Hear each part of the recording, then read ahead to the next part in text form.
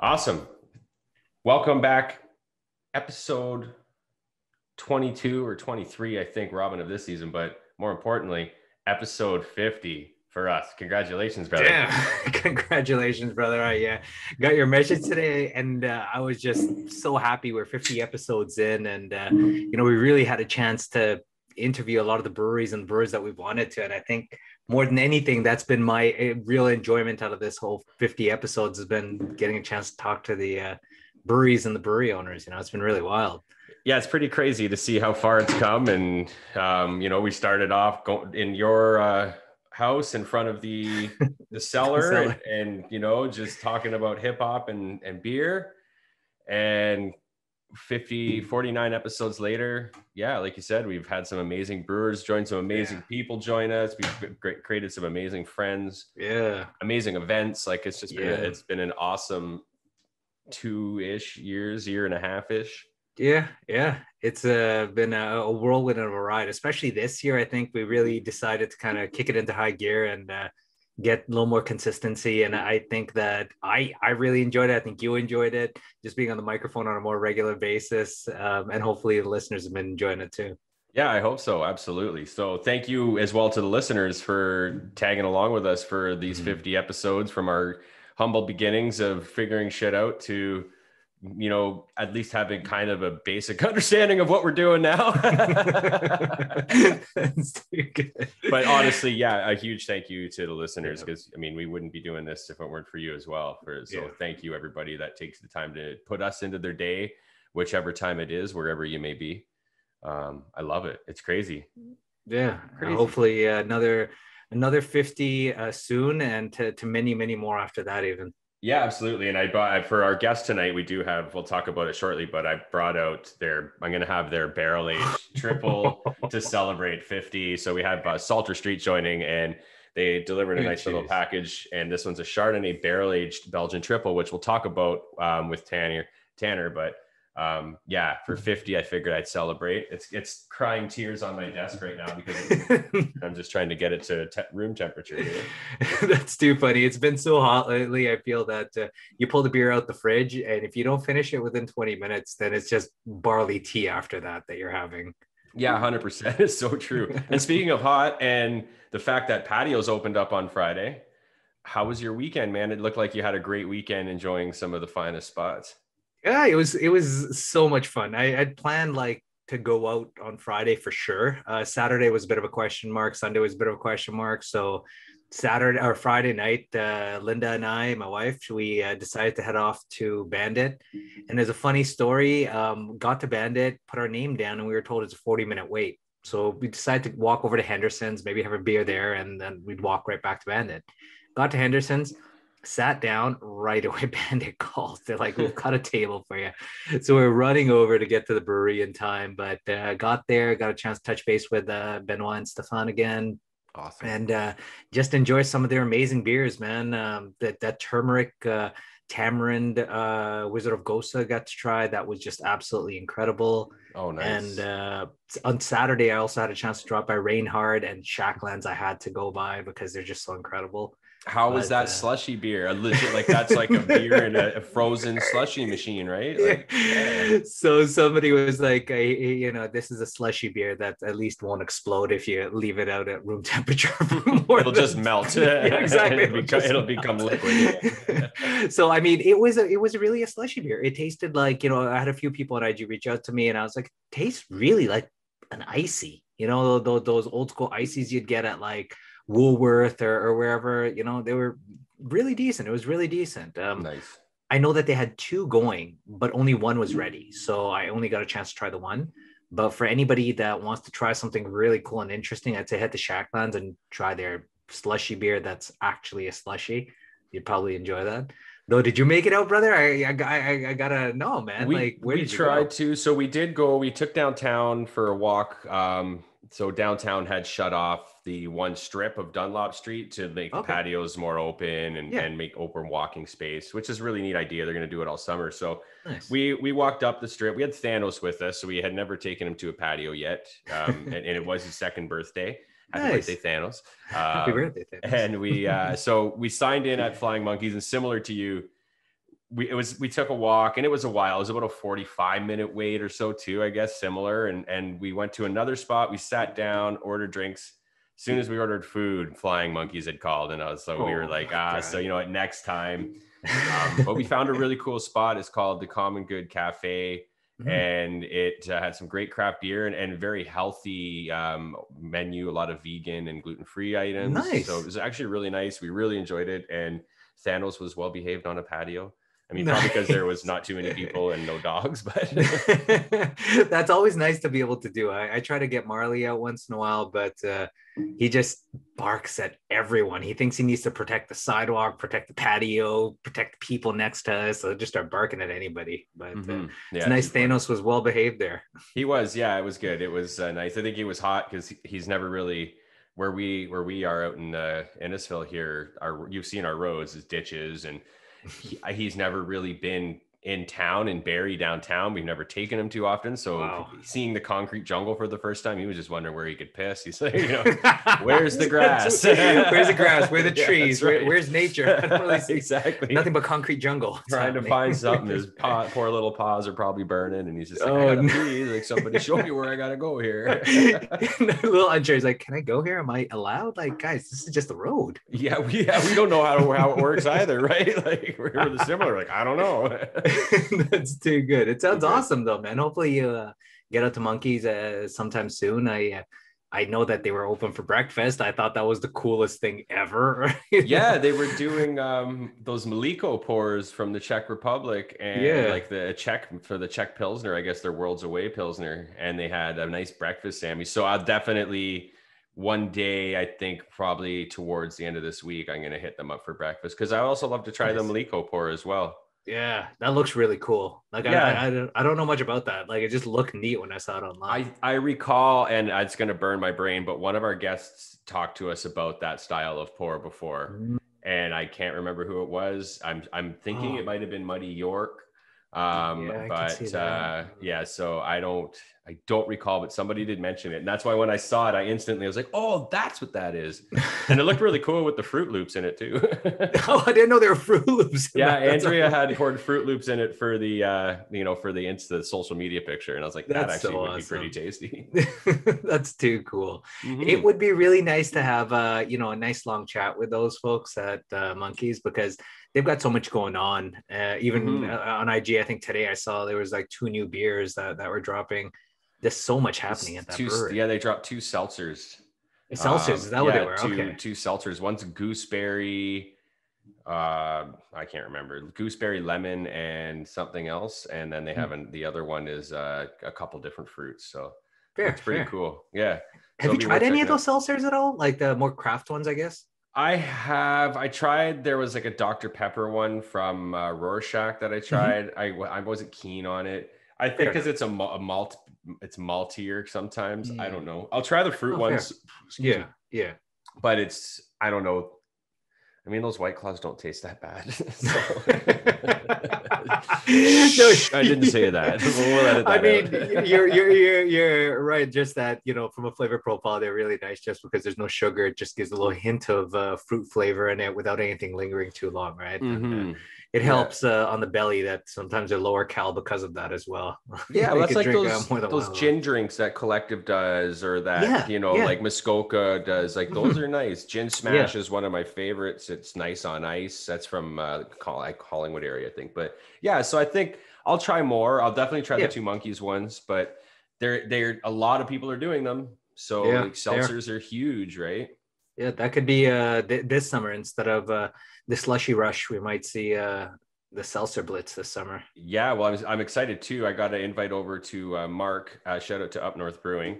Um, we're gonna catch a garage pint on Friday, and I'm gonna get to try his home brewed blueberry lemon pilsner. Oh, Oh, sounds so yes, fresh! I- oh my god! Right? I was like, "What blueberry lemon pilsner?" Yes, I will see you there. I love that. That sounds awesome, dude.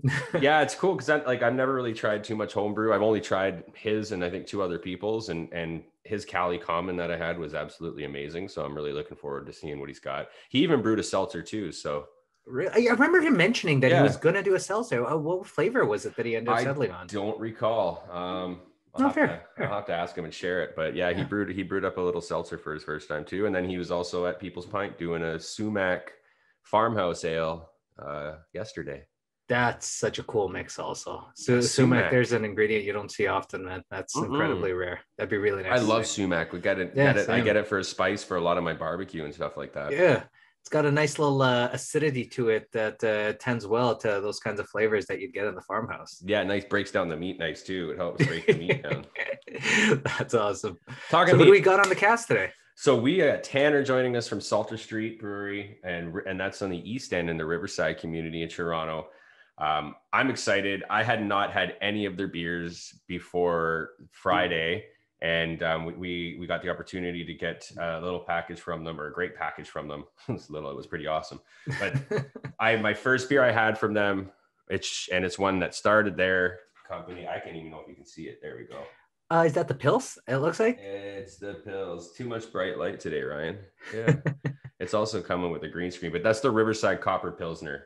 Um, phenomenal. That beer is phenomenal. That one I could put a case in my fridge, no problem. But uh, we're going to learn about their classic styles. Um, you know, they've been around since 2017, so we'll talk about you know how they got started, and I'm looking forward to learning all about it. And then we'll tell you who we got next week. I know I'm super excited for next week's guest too. So me too.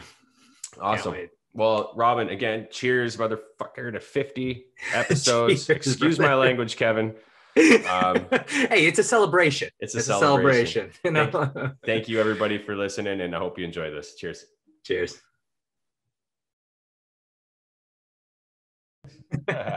so Ryan, I, I missed that. You you guys are talking about the Japanese lager there. Is that right?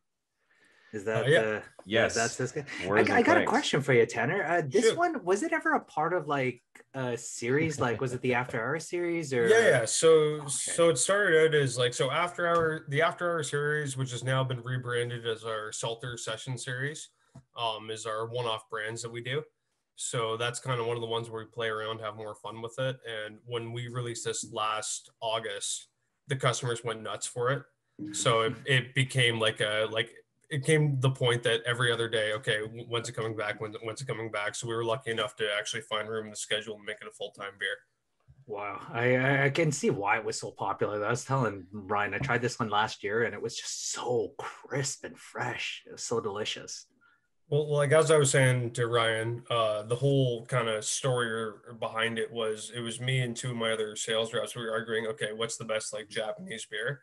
This was like in like the the full lockdown of COVID because we all miss like all you can eat sushi and all that kind of stuff, right? So my yeah. place, I, I crush multiple pitchers of Sapporo when I'm there when I'm doing it, and uh, all, all, always Ubering, never driving. And uh, we, we started arguing over who makes the best Japanese beer. Is it Sapporo? Is it Asahi? And it said, okay, well let's let's try our hand at it, right? That's so cool. That's awesome. And obviously, it turned into this amazing project and this incredible beer. Well, I think that's some of some of how the uh, best beer projects are. It's just talking, you know, what do you think is going to work, or you know, what's going to be make a better beer, and uh, what what do you like to drink? That's kind of where we stem a lot of it from, right? Yeah, yeah, and this one's too. It's it's unique too in that the style of lager, where you get the, the fruitiness to it, it it plays well with today's um, you know, palate and the the desire to have a lot more floral beers, especially with the the hoppy IPAs. When you get these more floral um, lagers and pilsners, it definitely plays a lot better with that uh, that style that's out there. Maybe making it a better seller in that regards too. Like, I, like I don't know how you guys keep up because I can barely keep up with what's left or right of the post with beer anymore. It's it's constantly changing, and I do this professionally, right? So there's there's a lot out there, and I will say from a consumer standpoint, and for somebody who enjoys beer, it's been nice to see what's been happening. Um, you know, for coming from a, a, time period where Ryan and I used to really just enjoy West Coast IPAs because that's really what was out there on the market. You know, hops were really just for bittering at that time. You didn't see too much use of aromatic hops, and then mm-hmm. transitioning over to you know, I guess what we call like the New England IPAs, of those hazier, juicier, fruitier, lower IBU IPAs, to now coming to the point where a lot of us beer drinkers who started there are coming back to some of those West Coast IPAs, coming back to some of the lagers, just because we kind of look for that like perfect simplicity and it, it and i don't want to i don't want anybody to think that these are simple beers they're not in any sense simple beers, but it's just simplicity in its perfection. That's so hard to do, and you guys kill it with those beers. Just so delicious. Well, like in my in my opinion, like um, things like a German Helles or like a proper Czech Pilsner. I don't know if you guys um, like have ever heard the phrase from art school, like the praying hands. No so apparently like in art school one of the hardest things you can do is actually do like this is old school but like drawing drawing hands like the praying hands. It's one of the things that a lot of even old school tattoo artists they'll base that kind of on your portfolio. Mm-hmm. to me to me that's our equivalent in beer. Yeah. Like a pilsner check like the, there's nothing to hide behind. It's so simple but it, it's it's brilliant right? And yeah. and that's and that's it right? Mm-hmm.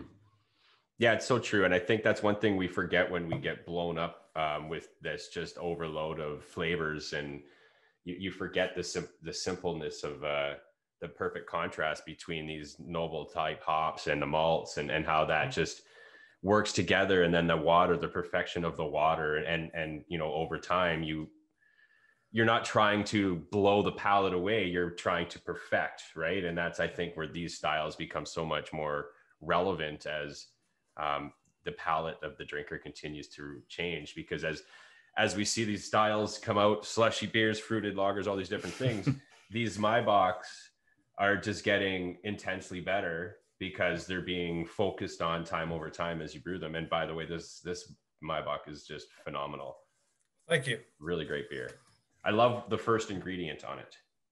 Time yeah, that, that that really ties into like the whole Saulter Street theme, right? Is is time is a big one for us, right? We take our time, try and figure things out, and uh, the the Maibock that's uh, that's one that we love doing every year. Nice. And that's and that's like old school proper like lagering techniques. Like that's actually like we, I brew that back in January to have that ready for March. Whoa. Yeah. That's absolutely that. Now that sounds like you're really putting a lot of work into that sort of a beer. So it's it's it's time, it's effort, but it's it's if it's not done that way, it's not going to taste the same. That's just the way I feel about it. So fair enough. Fair enough. Makes sense. Oh, now, Tanner, um, I was just gonna say for for our listeners, uh, why don't you go ahead and introduce yourself and uh, tell us who you are? Uh, my name's Tanner. I'm the brewmaster of Saulter Street Brewery. Uh, not really much to know. I just kind of brew the beer and, and have fun while I'm doing it. That's so awesome. and uh, Tanner, the brewery itself, you folks have really been brewing some classic beer styles for quite a few years.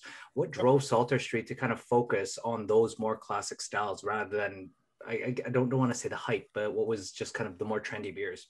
So, so kind of like there's a there's a kind of a two part story to this. So when I was hired originally, and I've been there pretty much since the beginning, once the construction was done uh, when I was when I was hired to Saulter Street Brewery, the original business model was actually to just brew that copper pilsner. That was all we wow. were going to do, and uh, we had a little pilot system. We were going to kind of do some one offs.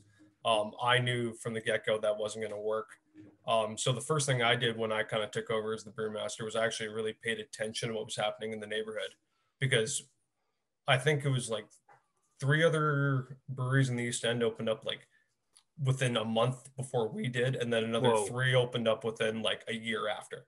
Oh, so it was a very happening, very crazy kind of time. And I would spend my afternoons actually just going to the different breweries and seeing what everybody else was doing because I didn't want to step on anybody's toes. Like I knew that we wanted to have kind of our own story mm-hmm. and our own kind of interpretation. And this is again getting into some of those hype beers where everybody was kind of focused on sours and uh, at that time, when we first opened in 2017, a lot of saisons that was really heavy. Um, so we kind of veered away from that and just kind of focused on okay, how do we do our interpretation of beer? Just kind of twist on classic things. So kind of the mantra has been, this is beer that if you've been drinking craft beer for 10 years, you're going to be familiar with it, you're going to know it. But if you're new to it, it's a little bit different and it, has got that those subtle twists. So it, it's almost like homages to traditional, but it's the way we interpret beer. And it almost seems like uh, you know I don't want to say that your your beers tell a story or the cans on them tell a story about the beer, but they almost speak to the personality of the beer. Like whenever you look at these cans, they've got a little something on them that says what this beer may be and what this beer is not. What uh, kind of drove you folks to put those on the cans? So I got I got to give full credit to Anne. She's our creative director. Um, she's the one that she's the one who actually designs all of our labels. She works in the tap room as well. Um, she's the one that really like puts the, the the heart and soul. I mean, I, I produce the beer, but it's it's it's the presentation. She's the one that kind of really drives that home.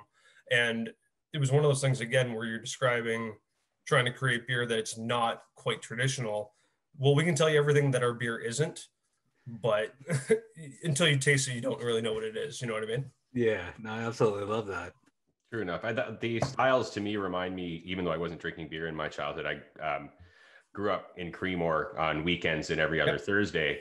So when I think of that copper pilsner, immediately I think of what going by the brew house, which was on Main Street back then. You can see the big copper fermenters, and and when I see copper pilsner, it just it brings that kind of nostalgia to me. When I had my first sip, it was that nostalgia, and I think that's what I love a lot about the styles that your team is brewing is that there's a nostalgia attached to them, and and it brings back memories to people new and old. And I, I can imagine, you know, the the wide variety of consumer that you have coming in is probably feeling the same. Like you have this Bock, for example, that it just reminds you of a beer of years past. We, we've we've definitely casted a bit of a wider net as opposed to um, some of the craft breweries that have really kind of got their niches kind of down. Um, so again, appealing to a wider audience but again, it, it's still it's craft at the end of the day. I mean, it's all handcrafted. Uh, we we work hard to make sure that you know it's to the best quality we can make it. And and it's funny this you know not not only classic beers, but if I can talk about the location because you're talking about being on the west or the east end of Toronto, you folks have like a really unique and interesting location. Like it almost has like an up uh, north you know, Muskoka feel to yeah. Have you guys been to the brewery? Or? No, we haven't. I've only seen pictures, but it looks okay. so wild, man. Yeah, no. Um, uh, we're actually we're really lucky. So uh, when John Sterling, he's the owner of the brewery, when we were scouting for a location, we were fortunate enough we found the building that we're in, 31 Saulter Street, mm-hmm. and we found out afterwards the history after we took it over that the building's been there for all, over 100 years. Hmm. At one point, which is really hard to find in in Toronto. Um, at one point, it was actually it was um, like a like a horse carriage kind of storage. Uh, we found out it was actually served as a munitions factory during World War II. Oh wow! Um, it's it's we've got a full like kind of like we we were lucky enough to reach out to the local like historic society. They gave us like a whole kind of file on the building that we're in. Whoa! Um, that's so cool. we so so it's it's a very kind of cool, unique building, um, and we've been fortunate enough to kind of retrofit it to make it our own. Um, so yeah, it does have that kind of cottage feel. It's also it's it's kind of weird to find because we are we're not we're just off of Queen Street, so we're kind of ducked down this kind of weird kind of alley that if you didn't know like walking down, it's like there's no way there's a brewery down there. Um, even to this day, we've got people. Even to this day, we got people in the neighborhood. I was serving customers today, and uh, they said they, have lived in the neighborhood for uh, ten years, and we've been there for we're going on our fourth anniversary this September. Nice. And they said we didn't even know you were here. Crazy. Wow. Right? It sounds like it's just tucked away on the side there. Now, uh, if you can, Tanner, can you tell us a little bit about some of, I, I don't necessarily like to always use the word core, but can you tell us a little bit about the more regular beers that people can expect to see at your brewery? So for us, we kind of have like our four core. Number one, our, our flagship. This is our bread and butter. What we started with is our, our Riverside Pilsner, which is the Copper Pilsner. Uh, number two would be our English Ale. It's about bloody time. Like um, that's an old school English ale that's actually got a really cool kind of story rooted in rooted in the into the neighborhood why we produce that. Uh, our third beer would be our Paradox IPA, which is a, a more of an easy drinking IPA. And then finally would be our Whirs and Clanks, which is the Japanese lager that we've made a full time beer actually just last month. That's going nice. forward. So that's that one. It's not really coming through with my new light. Let me see if I can. So you said that the it's about time about bloody time has a unique story. So the English ales are just another classic style beer. But why don't you tell us a little bit about the story behind it's about time? Well, if you had told me three years ago that like my number two beer would be an ESB, I would have said there's no way, especially in today's market of slushy beers and all that. Um, but no, it was so where we're located at 31 Saulter Street, we found out uh, located in the 1800s, about three blocks away from our physical building, was this uh, was a brewery that used to make a beer called uh, Crystal Ale. Um, okay. So it was the uh, I can't remember the name of the brewery; it, it escapes me at the moment. But uh, it was a really cool project. So I actually reached out to um, Bill White, who was my beer history professor at Niagara College, and he was able to actually dig out some of these old records from the 1800s, so we could see wow. what the excise taxes were. So we did our best, me and him, to actually replicate this beer that was brewed 200 years ago, about three Whoa. blocks from my current brewery. Awesome. That is incredible. Wow. That there's nothing cooler than being able to attach um, community history to what you do and bring out what was there 100 200 years ago and and it's hard to replicate we've talked to uh, breweries before that have Mhm. henderson for example tried to do the same with their best so Yeah. were you just kind of going off of a similar concept of what kind of malts and grain bills would have been available at that time? Or did you have kind of a, a recipe that you were able to build off of? So we i was fortunate enough just through uh through bill he had really good records of kind of what was around at the time. Um and we were able to fortunately enough one of our malt suppliers they were actually starting a new heritage history project where they were actually starting to replicate producing the malt like they did back in the 1800s That's so that's cool. And, uh, the, and the name it's the it was the davies brewing company was the name of name of the uh the brewery Oh, nice. Yeah. That is so cool. Yeah, I love it. It's, as, as a history buff, it's always cool when you find that uh, really unique attachment, the, the age of the building, um, which would bring me to ask, has there uh, any ghost stories being given the age of the building? we haven't heard any yet i've i've asked that question multiple times but no i have not heard anything as of yet and nobody on your team has has said anything as of yet either. no Um, brewery uh, ghosts. I mean, I'm in the building probably by myself more than anybody else, and yeah, trust me, I haven't seen any ghosts yet. no no floating cans or anything. Okay that's a good thing. You never know given the history because that yeah the east end is is so, super gorgeous too. And um, i know a few friends that live on that side and i just love walking down the old areas and and you don't know the history but you can kind of feel the history that's in those buildings. So when we can make it when we make our stop over there i'm looking forward to it um, and, and But- seeing it there I, I mean, it's super polarizing because I grew up in the east end of Toronto, and uh, it's so funny because everybody, if you're from the east, like from the like, I'm from Scarborough, so like the real east end, they'll say, "Oh no, no, you're downtown," but then other people, it's like, "No, no, you're you're east of the river. No, no, you're not. You're not downtown." You get like. It's very polarizing depending on who you talk to, where where my brewery is located. it's funny you say that, Tanner. I tell people like just for simplicity's sake when they ask, they're like, "Where where are you at in Toronto?" And I just say downtown.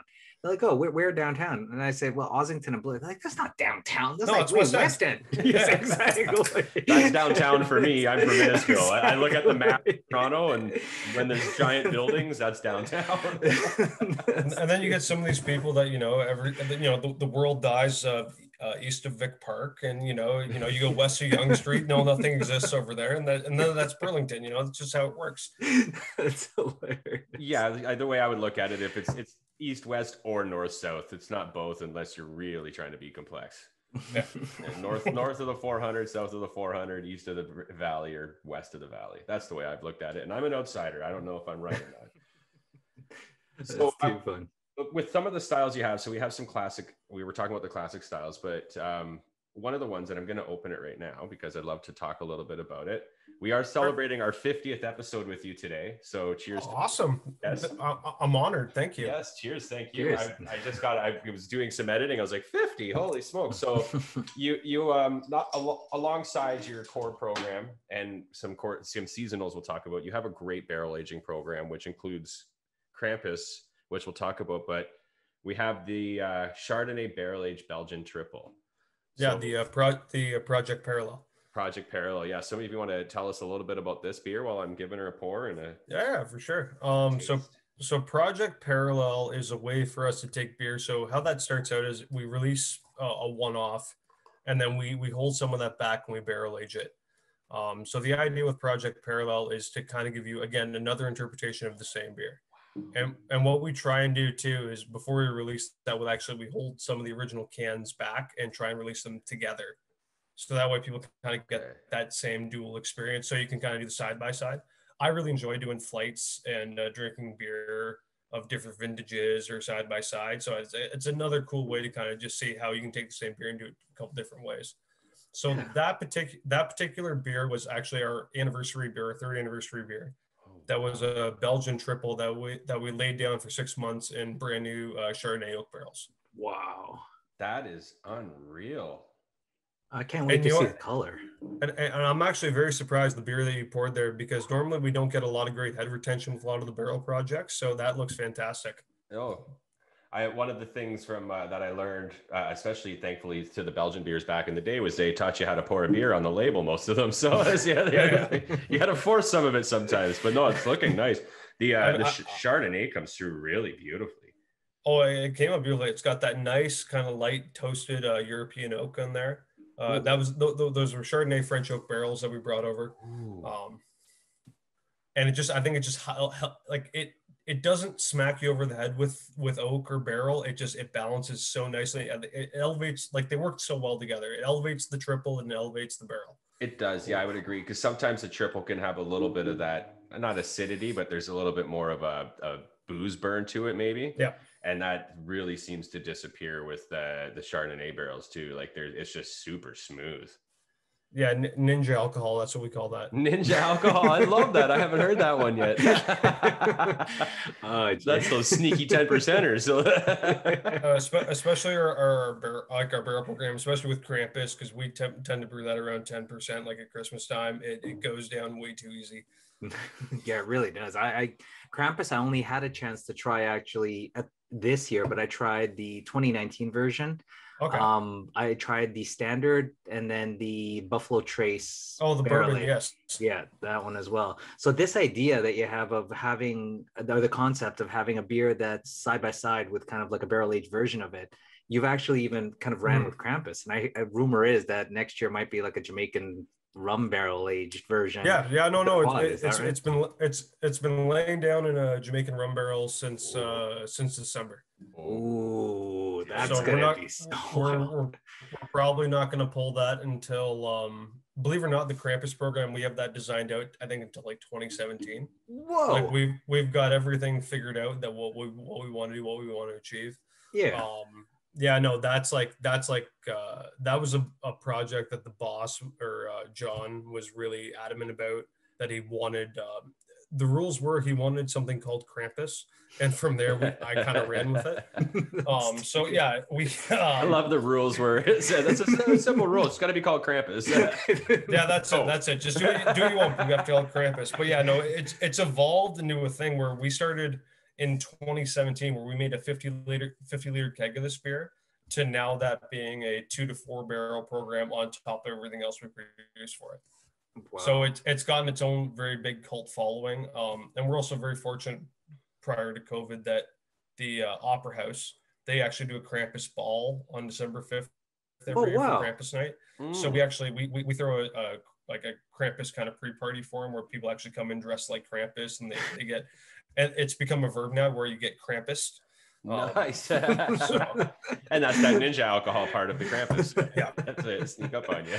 That Yeah. that is fantastic. What a what a really kind of unique way to do it too. Like I love how how is it John is the owner? John is the owner. John, yes. yeah, I love how he's just like, here's the name, go nuts, and you know Yeah. what you come up with. I love it, and I think the you know you talk about too. Robin kind of touched on it. The idea of being able to take a beer and you know like the triple because I did see the cans of the triple on the website as well, like the Belgian triple. So I love how Yeah. you can you're offering the original version beside this barrel aged version for the consumer to kind of sort through on their own and, and see, oh, where do I find where, what flavors am I finding of the Belgian?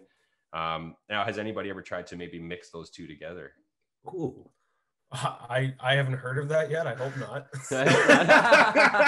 That's too good. I, I've, I've heard I've heard a fair bit of um like our summer beer, the lime wit. I've heard a lot of people um doing uh like throwing a shot of gin into that and then and then going to town. But um other than that, you know, I haven't heard too much of uh of, of mixing the beers together. Mixing the beers together. I guess in that case, they're they're really meant to be independently enjoyed and appreciated for for what they offer. Because especially in the case of the Krampus, like they they even though the base was the same in the one that I tried, which was 2019, and correct me if I'm wrong, Tan, that was the Imperial Stout. Is that right? That one? Because that was it. 20, Or is it 2020 2019 was the Russian, quad? 20, 20 2019 was Russian Imperial Stout, 2020 was the Belgian Quad. Yeah, and with, with that one, I mean, the, the flavor profile was very uniquely different on both. And I and I imagine if I mix some of the the bourbon barrel age version with the regular one, it would just kind of dilute the the bourbon barrel Yes. aged flavor, and it would take a little bit away from that that standard imperial stout as well. Because they were both delicious, but I can see it taking away from both. Well, and the other thing that we do too that we find um, because they're not just straight Russian Imperial Stout or uh, straight Russian uh, Belgian Quad. They're actually they're spiced with um, uh, like your typical Christmas spices. So you get your orange, your orange peel, your cardamom, all that kind of stuff, mm-hmm. right? Um, it, it's actually the original version was we took the spice bill out of actually uh, my godmother's uh, mulled wine recipe. We just literally just took the oh. spices and threw into an imperial stout. That oh, was, to so me, cool. there's nothing that screamed. There's nothing that screamed more Christmas to me than like I I could picture being in the distillery district getting a glass of mulled wine. There's yeah. nothing more Toronto than that at Christmas time, the Christmas yeah. market, right? Yeah. So that was our way to kind of tie back into the city. That is so we cool. so we, we, so we've done the we've done the mulled wine spices in the, in every version of Krampus. We've just altered it slightly depending on the beer that we need, oh. needed to suit. Yeah. So there's, yeah. for example, the original the original one was very heavy on the star anise and um, and the nutmeg, and then we dialed that down. And then the 2019 version, we went very heavy on the orange peel because we knew that was going in the bourbon barrel. So heavy on the cinnamon and the orange peel because we knew the vanilla and the oak barrel was going to come through. So there's there's a lot of lot of moving parts to try and figure this stuff out, right? That's a heck of a science. Now I, I want to take it back for, for just a moment because you started with these core beers that we now see, or the these beers that your customers can always expect to see there. What prompted your folks to get into a barrel age project altogether? Because I imagine, like, at least from what me and Ryan have heard, that this is a whole different type of science, if you can even call it that in and of itself. So for me, the whole barrel age program came with me being part of the brewery. I've loved a barrel aged beer. I actually, uh, when I went to, I was one of the early classes of Niagara College, and uh, to take a step back in, in my career, um, I'm actually third generation in the in the alcohol business. So oh, my, wow. my, my father spent uh, he's retired now, but he spent o- over 40 years working between um, the LCBO and a couple different wineries as a consultant and all that kind of stuff. And then my grandfather was actually a distiller back in Denmark. Oh, cool. Um, so when I worked or when I went to Niagara College, the barrel program was pretty weak, but because my father was consulting for a winery at the time, I had access to barrels. So I started bringing barrels to Niagara College to help. So it's something that I've always because to me that's the magic. Because yeah. it doesn't matter how, how good you are, and I'm and I've uh, I saw the podcast you, you guys did with Money York. He kind of sums it up the best. Yeah. You put the barrel, you put the beer in the barrel, the magic happens, and then it just kind of hurry up and wait, and then you see what comes out, right? Yeah, Dude, that is so, so something ambitious. that I've. Pardon? That's so ambitious as a student to to move into. Like, oh my goodness, dude, that's too cool. Like, you think most students, especially a beer college, would be trying to just do something basic and get it done. But man, you were experimenting with wine barrels. That's out of control. Yeah, so we uh, well, that's something like I said. I've every brewery I've ever worked at, I've always been involved with barrel aging beer at some point or another, right? So it's something with Saulter Street because I have a lot more creative control. Um, it's it's actually pushing, and that's one of the things that we hope to kind of move forward with is doing a lot more of this kind of stuff in it at a more regular interval. So right now, I think we only do maybe two or three barrel releases a year. I'd like to get that up to about uh, one every two months, so about six releases a year. Wow! Oh wow! That'd be yeah. really wild. Really increasing the program because, uh, like you said, it's a hurry up and wait um, you know, and and it's a barrel could sit there for six months. It could sit there for eighteen months before it's decided yep. it's ready for you to do something with it. So it's uh, it's it's a lot of uh, ambition adding more barrels and not, not knowing the timeline either, right? Because it's hard to wanting to commit to say like in every two months. Yeah, you can't rush the process. There's it's not like making an ale where you can you can you know make it you know, pretty damn 15, quick yeah 15 days start to finish right yeah um but but for us i think the thing with what we do too is it's yes there is a little bit of mixed fermentation but that becomes naturally out of whatever the spirit that previously like we don't purposely inoculate with addition, additional stuff the idea mm-hmm. with the barrel program is the barrel is supposed to highlight the beer we don't design the beer around the beer like you know what I mean? It's that mm-hmm. back and forth, right? Yep. Yeah. And and we kind of figure out when it's ready and and we go from there, right? Um, it's not like that deep, complex Belgian, you know, lambic where we're taking three or four years to figure it out, right? It's, yeah. it's a little bit faster turnaround because otherwise we're sitting on vinegar for a year and a half before it finally actually turns good, right? yeah, sure enough. I like the idea you said like you're just looking for that really it's that the simple complexities like what barrel will really complement that beer versus okay now what can we do after it's been in the barrel to maybe add more to it to you know all these adjuncts that go into it when you get a beer like this project parallel one you have the uh, triple it's it speaks for itself right? Like that's that's what i love about what you're talking about with the barrels just let it speak for itself and and, and then that that's that same barrel that the chardonnays and the biere de mars i think i sent you guys a can of that. Yeah uh so those same barrels we pull the chardonnay out of we put the biere de mars back in those exact same barrels. Ooh. oh cool. Because I, I'm a firm believer that you can get multiple turns out of a barrel. Oh yes. That you can yeah. you, you can you can build flavor back in. I know a lot of guys, unfortunately, that they use a barrel once. Okay, cool. Now it's patio furniture, where it's we try and get as much use as we as we possibly can. That's well, a really brilliant way to utilize that. I mean, at least get your, you know, your your primary that you wanted out of that, and then still be able to use it for a few other beer runs, maybe that you're not using to age for as long. That's wild. It's like cooking well, that, with a that, skillet. That, that Krampus bourbon that you had, um, if I told you that was a third use bourbon barrel, would you believe me? Whoa, I would have never thought, man. That uh, bourbon flavor comes through beautifully in that. Like the vanilla notes in there play mm. so well. You'd think after a second use, let alone a third use, some of those would start to mute out. Yeah. Wow, that is incredible. So, a question on that, just because I mean, just from a, a barreling perspective, would a third use take a little longer for it to be ready just to pull the flavors yeah. out of the barrel? Okay, that's what I was Ab- And absolutely, and and at that stage too, because we know we're going into that with a deeper, like a Russian Imperial Stout. We're not at this stage. We're not actually looking for the bourbon because there's already enough flavor packed in the beer. We're looking more for that raw oak flavor. So, mm-hmm. and and for those beers, aged for a year anyway, so we know we, we were going to get that out of there. Nice. Now, I wanted you mentioned the beer, and I did want to talk about not only the beers but the series as well. So you, you mentioned the Biere de Mars, yep. style beer we don't very see very often, mm-hmm. um, but it's also a part of something really cool that I found on your website, the Saulter Session series. Yep. Where um, you have recently created your you and your team have recently created a uh, video series going through tasting notes and talking about the beer, which I think is super fantastic. It's just a it's a great way for beginner or expert to learn about the beer. So maybe tell us a little bit about this beer but also this maybe we'll talk about the series after and that how it's kind of you know it's growing into this release yeah well the, I mean, I mean, the beer itself, uh, a Biere de Mars is for me. That was something I only ever really read about in school. Um, not a lot of people. I think before I produced that, I think I'd only ever really had two in my life, and one was actually locally produced by um, Little Beast Brewery in Whitby. Yeah, they did one a couple years ago.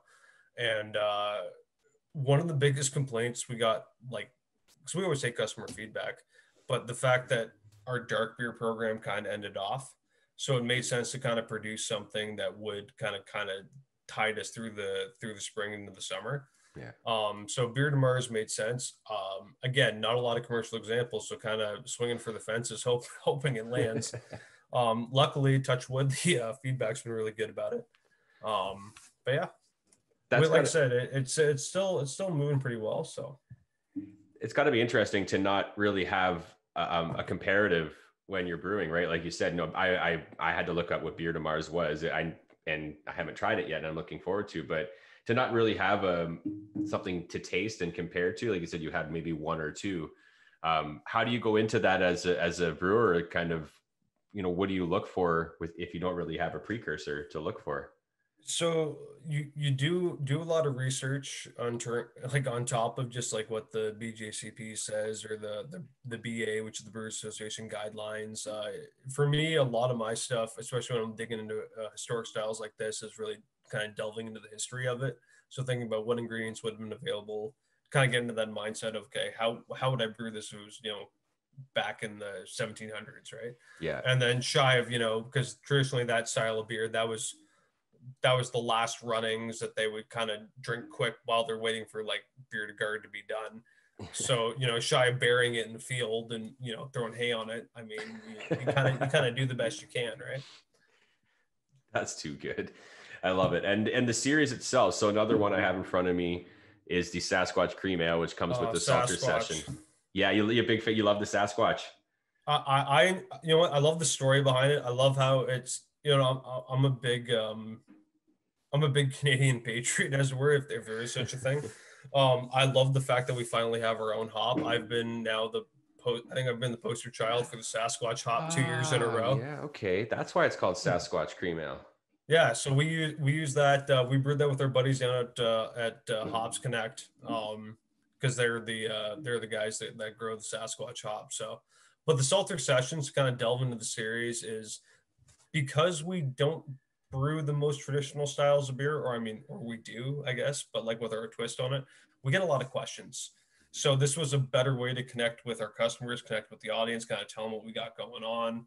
Um, and it's also it's a way because we're a very small team in Saulter Street. So there, there's me, there's Rob, there's Ange, and there's Owen, and then there's John, the owner. That's pretty much it. So it's a better way for us to kind of have our faces in front of the in front of the business, right? So that way you just don't see the clock logo. It's more it's it's a family business in that sense. You know what I mean?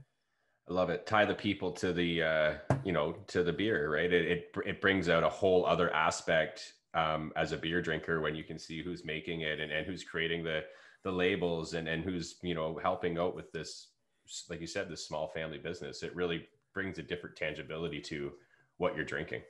I love it. Like I said, the four people I mentioned, if you came to my tap room tomorrow, you will be dealing with one of us. That's it, Wow. right? That's crazy. Such a small team. And it but it's mm-hmm. that family thing too, right? You said it creates such a family experience. You're you're all four people who came together and are working in this place and you create this great family experience. And I'm sure when you walk into the building, it's no different than watching how you you interact on the saulter sessions, which is just like watching a bunch of people have fun and hanging out. Well, I, I mean, I think that also speaks to the beer too, because it is a very collaborative rep, collaborative effort, right? Like Rob runs our tap room. Um, he's dealing with the customers day to day. Owen is our general manager and um, and our sales rep, so he's on the road. So the licensees know know us through that. I'm the one brewing the beer. Ange is the one designing our labels. So again, it's we all, but we we all collaboratively kind of come up with some of this stuff, right? And Tanner, can I ask you, like, obviously last year with COVID, it affected so many breweries. How did Saulter Street feel the impact of COVID? COVID. Uh, I thought we were over this by now. We Um, your your patio's open. We're we're over it. patio, patio just got open, thank God, last Friday. yes. Um, and you know what? Anybody who's watching this, thank you so much for anybody who showed up on the patio. We really appreciate anybody who's been coming out. Um, COVID was a very interesting switch for us um, because we did a couple things with COVID. So prior to COVID, believe it or not, most of our business was licensee. So mm-hmm. we sold a lot of kegs to bars. We had our tap room, but our beer to go was was a very small percentage of the business. We went and did a complete 180 and with most of the business now being canned beer going out to out to go with the bars being closed. But at the beginning of COVID, one thing that we did, because we weren't sure what was going to happen, we actually, I was fortunate enough that I'm good buddies with uh, Don at Last Straw Distillery out in Vaughan. Um, we actually we refit the business, so we operated for almost two and a half months, where we were actually helping to produce hand sanitizer.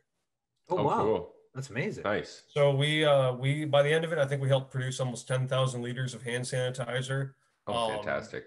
and uh, that all went to went to hospitals and and uh, old age homes and all that kind of stuff.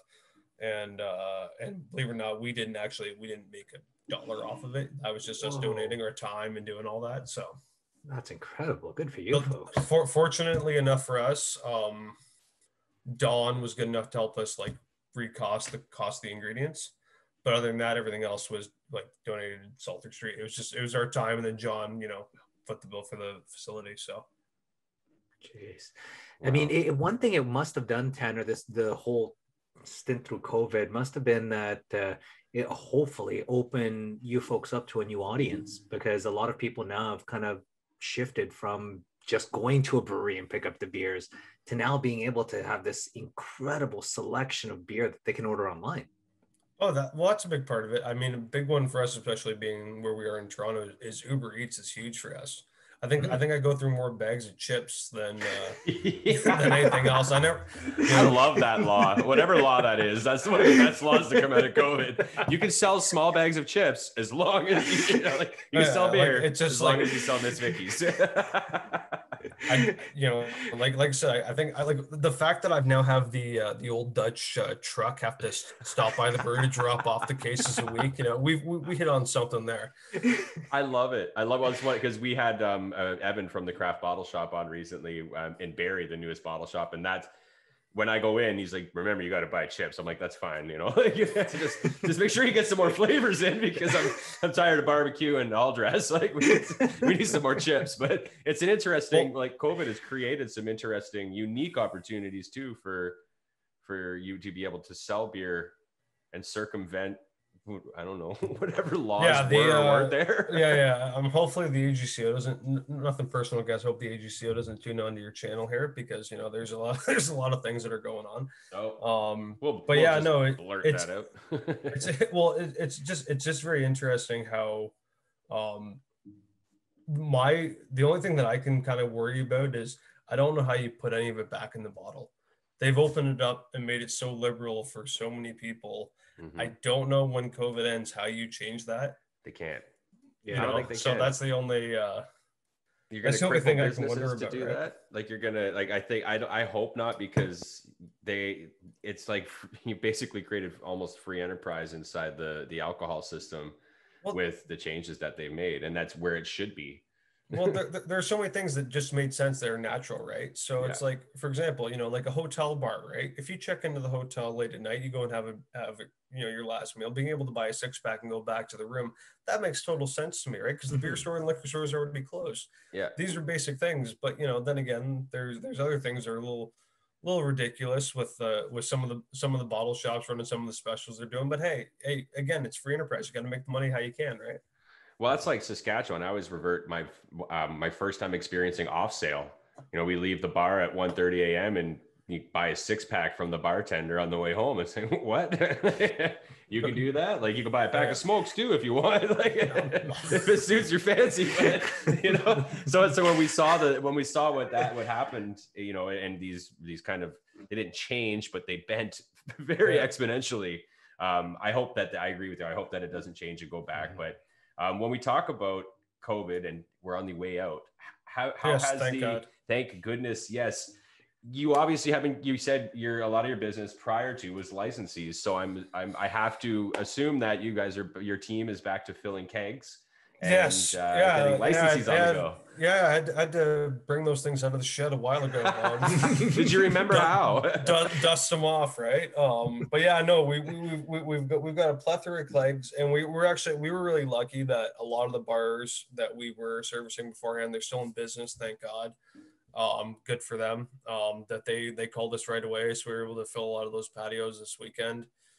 But yeah, no, it's it's a whole new world out there, and uh, like I said, for us, we were we were really lucky that the neighborhood really rallied behind us. Um, they were buying our beer, uh, and yeah, we we turned out okay.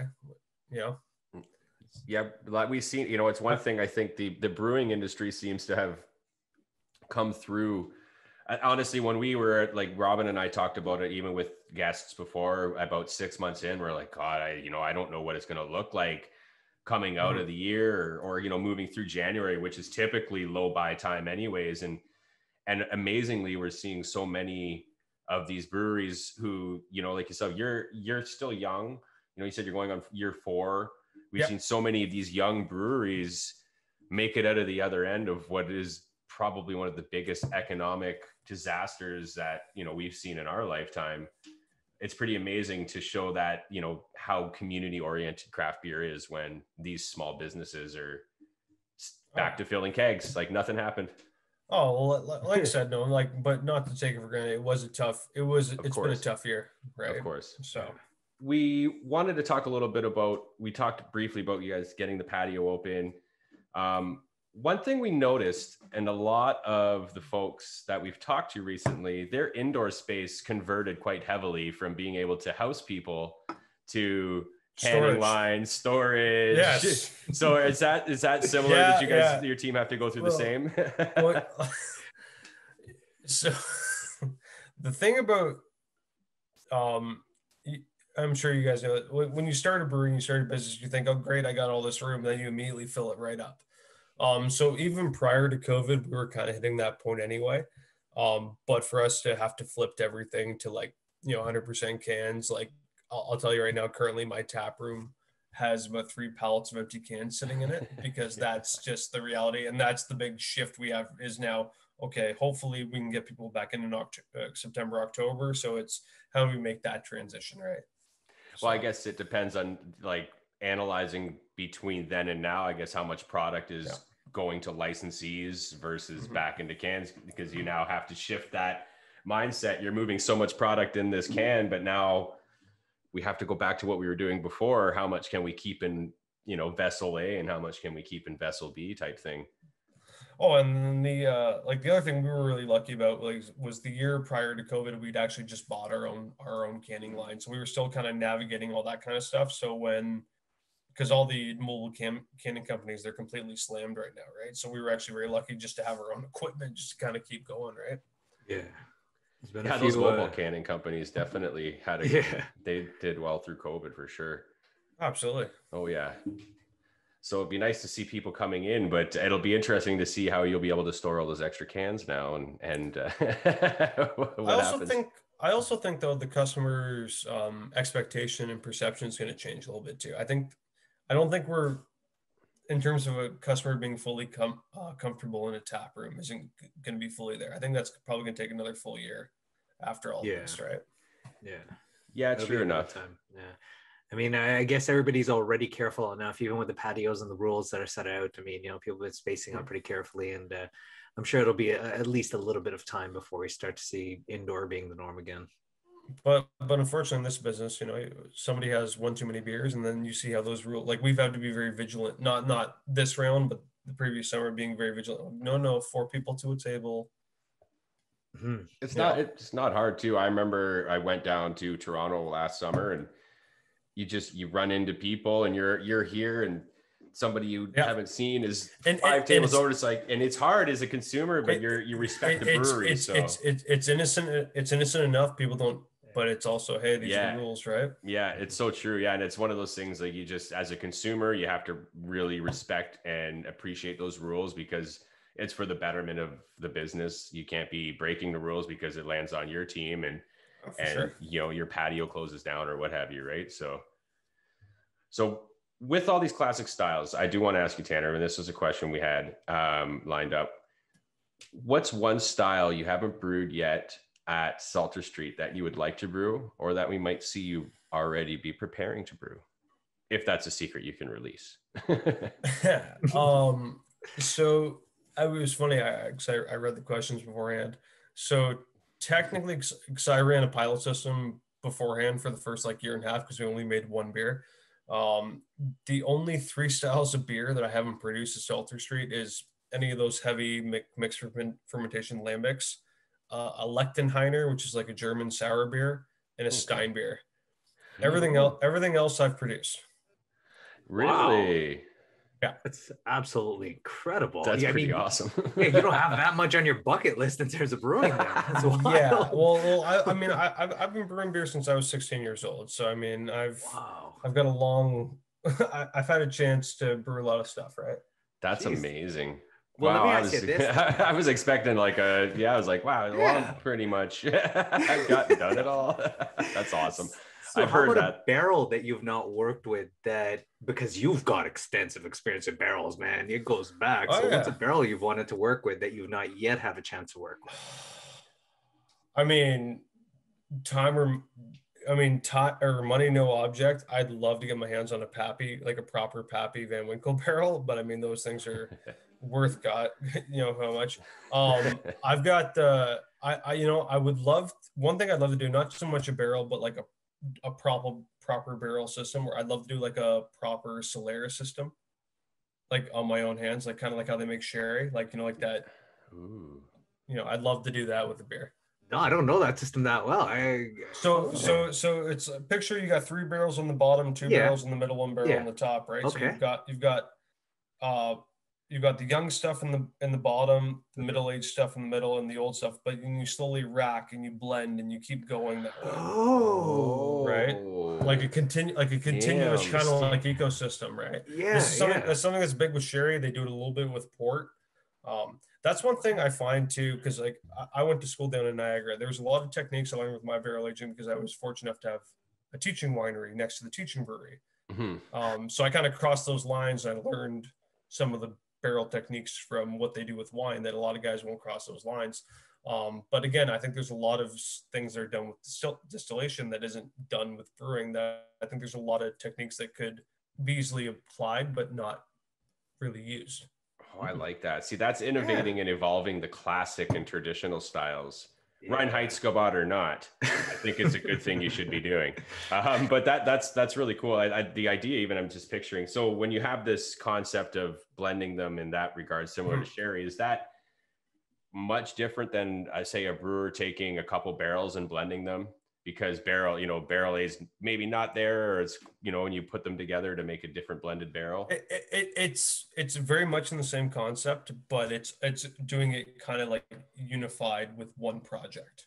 Uh, what I mean? Okay. So imagine being able to take like uh, like a barley wine, for example, but then be able to pull from, uh, you know, two year, sixteen month, and six month. Full intent. Yeah, that makes sense. Right. Yeah. That would be amazing. Yeah, that think would be. a great idea. Yeah, that'd be super neat to see. Now, Ted, I gotta, I, I, I gotta ask you another question on this. I feel like I have so many barrel questions for you.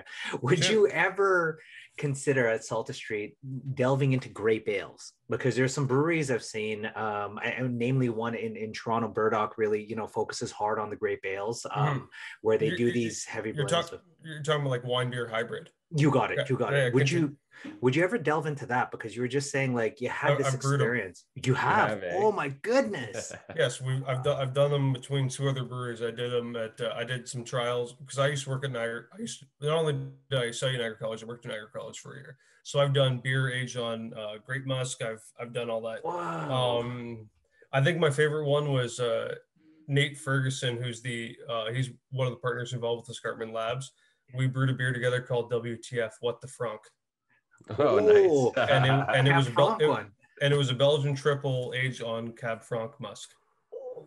Oh. And this stuff, guys, I tell you, it poured purple. Oh my god. Really? The jamminess from that cab franc must have played nicely with that. Jeez. Good, good luck cleaning. Good luck cleaning the tank though. After I don't recommend this. no um, doubt. Right? oh, that's Um, too cool. but it man. was it was interesting and there was another one we did um it was a uh, it was it was chardonnay must on a on an, uh, an american pale ale um and then we racked it onto uh onto chardonnay staves and we aged it for four weeks Jesus. Oh my Yeah. goodness. Oh that must have been so fresh and crisp. My goodness, these sound delicious. Right. I'm saying so. Oh my and one of the things from from a few people who when I posted, they're saying, "Oh, Tanner is so passionate. He's been doing it for so long, and he, you know, he loves what he does." What is the craziest, funkiest thing you've put together? That it's not like you, I'm. I'm hearing all these crazy things. I'm like, all right, what is the funkiest, craziest the- beer you okay, put the- together? The, weirdest beer I ever did, and this was never for public consumption. It was only on, in my homebrew day. Well, not my homebrew days when I was homebrewing when I was in school. Was um, you? I don't know if you guys have ever seen uh, Charlie Papazian. He wrote he wrote Joy to Homebrewing. It was one of my first. It was one of the first brewing books. If you've ever homebrewed, that's that's like one of the one of the Bibles you pick up, right? Okay. Okay. and um, he had a recipe in there, and it was from a recipe from the 1800s or 1700s from England. It was called Old Cock Ale, and it was where you boiled your beer and you boiled a chicken in it. So it was a way. It was a way for them to cook the chicken, then still make beer. So I did a rendition once where I did something very similar, but it was a Thanksgiving beer with turkey, cranberry, sage. what? I only I only had about a pint of it before I got rid of it, obviously. um, but everything's fully cooked. It's boiled. Yeah, You know yeah. what I mean? yeah. Um, it was no head retention because because of the the fat out of the turkey, but uh, it was it was one of the most interesting projects I've ever done. It's like it's too like cool. reverse beer can chicken. Exactly. Like- totally the other way around. because, because if you ask me, like I said, I'm not a big fan of pumpkin beers by any stretch. I was trying to find a new way into that Thanksgiving kind of Halloween market, and I thought, you know, turkey beer might be the way to go. I learned. that is awesome. that is that's too fun. I have never heard of that. That is an interesting one. Boiling your chicken in your beer, folks. Oh my goodness. You're doing it backwards. All your beer can chicken cookers. that is too fun. I love it. So we we talked about you know the different styles of beers that you guys have, and I wanted to ask um, you know just before we do go into our last set of questions, which is probably not beer related at all. It depends on what Robin and I have geared up for you. okay. Um, what what can we expect um, to see from Saulter Street as we move forward post COVID? Um, you know, are we just going to be looking to continue maybe more product into cans, um, or uh, can we expect something exciting coming from you guys? Maybe an event coming when you're ready to open. Anything you got planned coming up? Well, we're we're really hoping if everything keeps going, everybody keeps getting needles and arms, that we can actually have like a legit anniversary party at the end of September there. That'd Oh, be nice. great. Um, I got a I got a fun I got a fun beer planned for that that we're going to be barrel aging as well for the the following anniversary for a big five years. So that'll be fun. Sweet. Um, in terms of general stuff, um, we're just going to keep kind of doing the Saulter sessions, you know, kind of one offs whenever we can. Uh, expanding the barrel program, that's a big one for me this year. It's a big project. But yeah, I mean, as long as you guys keep drinking it, we're going to keep brewing it. So We'll that's keep the big drinking it. That's it, right? and I and like like we said off the top, I and Robin, as you mentioned, I think the palate of the beer drinkers changing, and people are starting to recognize the the viability and quality of these classic style beers. And Mhm.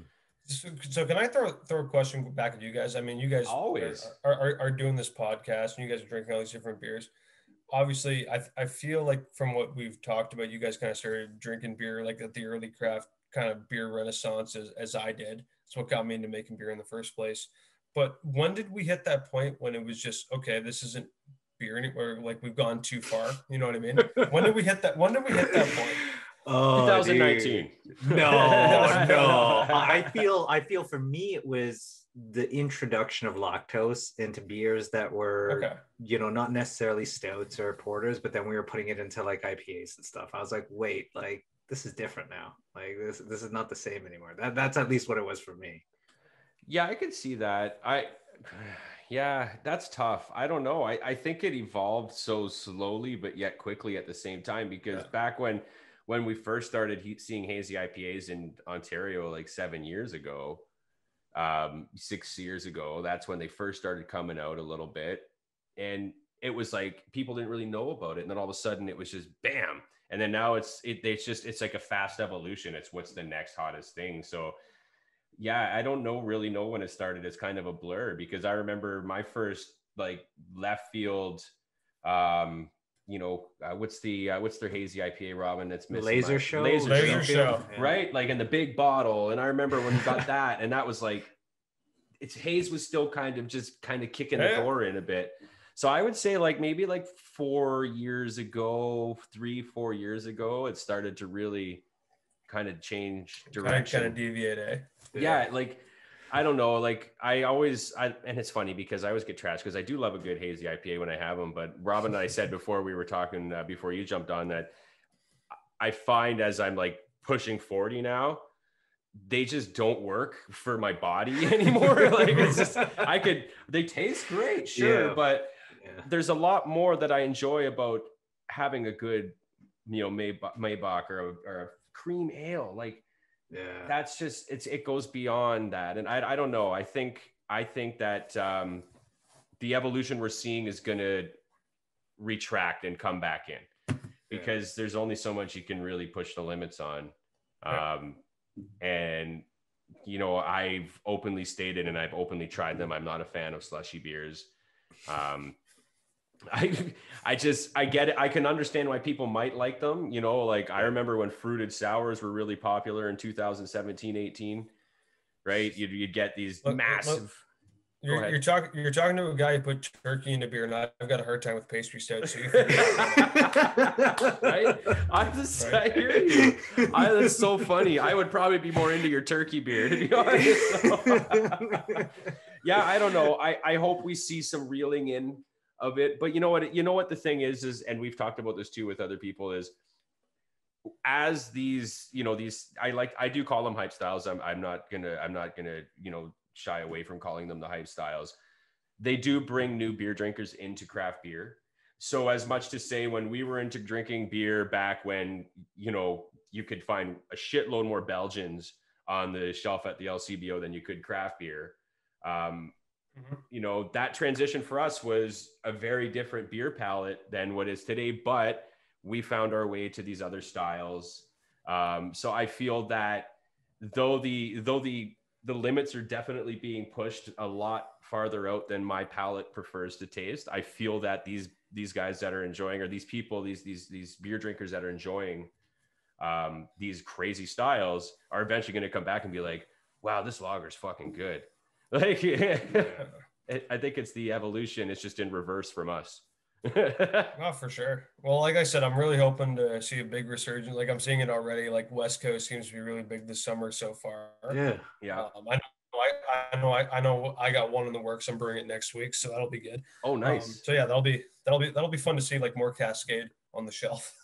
Yeah, true. And you know, like um, Italian pilsners is another one we're seeing Oh, a lot of, which are really great because they have again that floral notes and Yeah. kind of. So I, I feel that's why I said earlier at the hop, like the Japanese style lager is one of those ones that it could cater to those hazy boys because uh, hazy boys and girls and people because it you know it has those floral and fruity notes a little bit right but it's a lager and it com- it brings it back to the malt base and you get more of those traditional lager notes so i feel that some of these styles will bring people back to what beer really is not to say that it's not beer guys but you know where i stand where it started, where it started. Where it Bringing right back to there, you know. back to the Rhine Heights, Reinheitsgebot.